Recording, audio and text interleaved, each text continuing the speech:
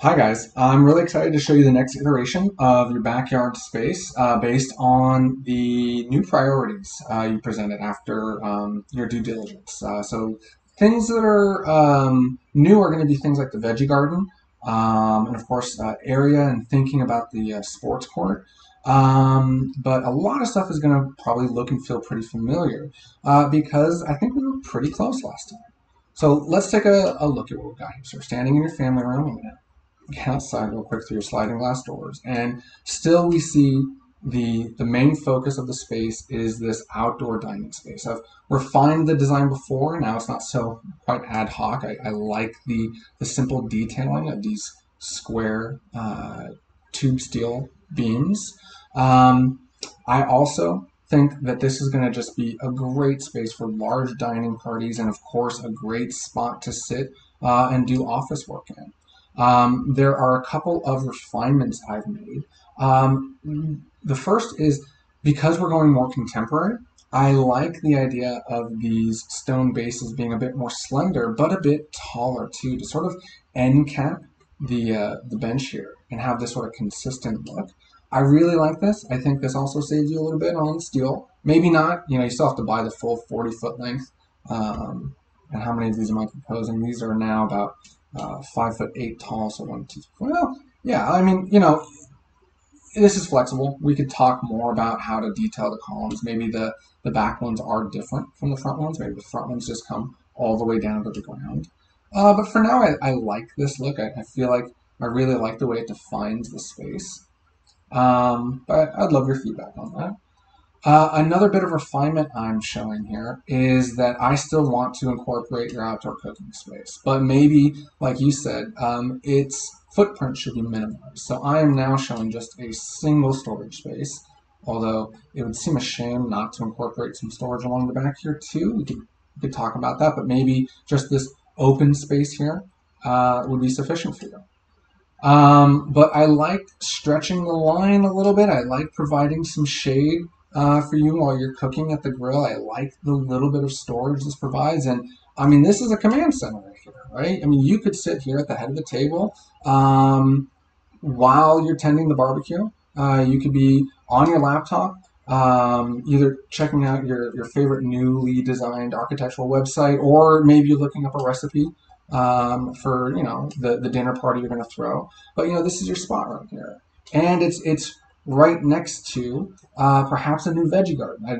don't know much about what you're seeking here, um, but I think this southern side of the yard uh, is probably the best spot for it, although I do worry about the looming fence and bamboo here, um, not providing enough sunlight for your uh, veggie garden, but uh, it seems like a good spot for it. Um, I think once we get past this side, this is where we can be really soft. Um, and we could maybe eliminate this box, this veggie garden box, but go something that's taller and slenderer in footprint. And maybe also turn this very lush um, tree well. You know, I'd be ashamed to, to rip those plants out, but maybe this should serve as a veggie garden. I just feel like this is such a, a garden zone, a soft spot for the dog to roll around in. Um, and of course, I think I don't think there's a better spot for a dog run in this narrow space. Um, so long as you're okay sending someone back there to clean up, um, this has got to be the best spot for the dog run, I imagine.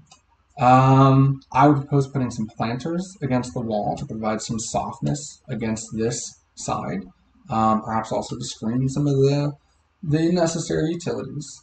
Um, but then let's see. Oh, one other change here at the uh, covered uh, pergola is that uh, because you've mentioned the desire to want to sit out here uh, and do office work out here, I, I do worry about sun coming across and providing these two bright slaps that really make uh, laptop work uh, harder. And so, and also maybe you want to work out here during uh, inclement weather. You'd like to work out here in the rain in a nice puffy jacket um, with the fireplace in the distance going. Uh, so in that case, what I would propose is that we do something like this, where we have a retractable screen uh, that perhaps bunches up uh, at one end over here, but can be pulled out. Um, or perhaps it just rolls up here, actually, uh, where this rolls out and provides you uh, complete sun blockage, complete shade uh, for your screen and also uh, a rain deterrent. Um, whether or not you trust it with your laptop under there, that's up to you. I've seen it. I've seen people do it. It is pretty rain resistant uh, to do these umbrella type things. But I think that's the sort of final piece needed here uh, to really make this function for all of your uses. Uh, it's an outdoor gathering spot, outdoor office area, a bit of a, a backyard cookout spot.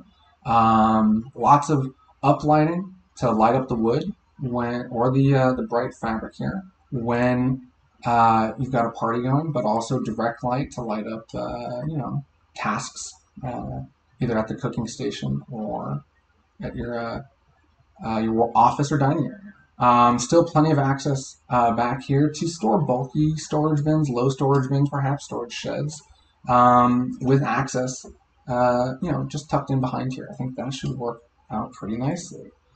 Um, let's head over this way. So uh, a big change, or not a big change, but the, the really significant change here is that I would propose two things. One, obviously all um, non-fixed elements for the uh, fire pit. This fire table and all this furniture should be able to tuck into a space right here. So I've mocked that up to show you uh, what you could have uh, if we tucked all that same furniture into a row uh, and then if we turned on the sports court area here, uh, this is not perfect, um, but it does show you that you've got maybe some uh, amount of, uh, of area here uh, that is available uh, for you know your, your practice.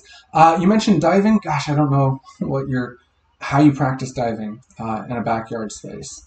Um, but I know you're also practicing some volleyball drills. So, you know, I'm a little concerned about, um, sorry, what would happen um, with these string lights that I would love to string between the two structures, the dining uh, pergola and this more open pergola above the hot tub area.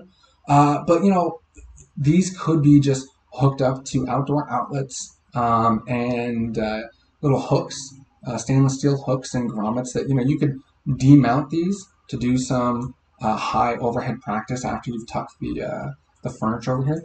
If that's not too much of a pain in the butt, I'd say that's what I want to do. I'd love to define the space so that when you're friends and company and this is a gathering spot and not a sports spot, this is the way to be, right? You're down here, uh, you've got the fire going uh, in the middle, you've got beautiful string lights overhead providing beautiful ambient light and some twinkle.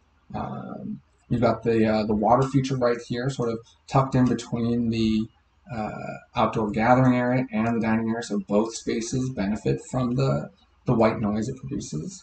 Um, and then the the hot tub hasn't changed much, uh, except that I'm proposing to scoot it uh, the whole assembly closer to the fence uh, in this direction and further from the fence in this direction, so that we can uh, make use of this uh, open space to both store these movable furniture elements for practice, but also gain access to another row, perhaps, of um, some uh, veggie gardens uh, right here. Um, you know, we might have to remove a couple bamboo uh, bits here, but you know, this just sort of provides a, a, little bit more breathing room for this and sort of puts this more in a, a central location. Uh, I like it. Uh, I like this open space. I think it doesn't feel choked down over here. In fact, if we were to shift this whole thing back over the, the two feet, you know, I start to wonder, uh, you know, what are we really doing with this space uh, in front? You know, it's just, I guess, a little more uh, breathing room for when uh, guests come in. But to be honest with you, I think uh, this is equally as welcome. You know, shifting it forward again um, and it makes it possible to tuck things back there. I think that's a good use of space. You know, if it feels a little tight here, maybe we just omit this one planter. Um, although I've left 36 inches, 3 feet of space between this line and the edge of these large planters. So I, I, I think this is comfortable. Um, perhaps just a bit more comfortable without that one. But I think this is great. You know, I, I wonder how you're going to react to the idea of this movable furniture and you know, how you're going to react to these different surfaces. Uh, is it going to be okay to do the drills um, in a sports area that's got different surfaces? I hope so, because I think it certainly adds an, a, a bit of nice variety. Um, but if that doesn't work for you, of course, we, we can adjust this and we can adjust it together live. So um, let's try to book a meeting for uh, not next week, but the week following uh, to go over your feedback and see if we're ready to start uh, talking to some builders about this as a overall concept.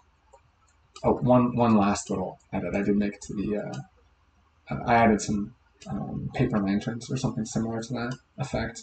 Um, a variety of sizes and, and, maybe a sort of random zigzag pattern. Uh, I think it's kind of playful, um, but I, would love to hear your guys' thoughts. Okay, thank you so much.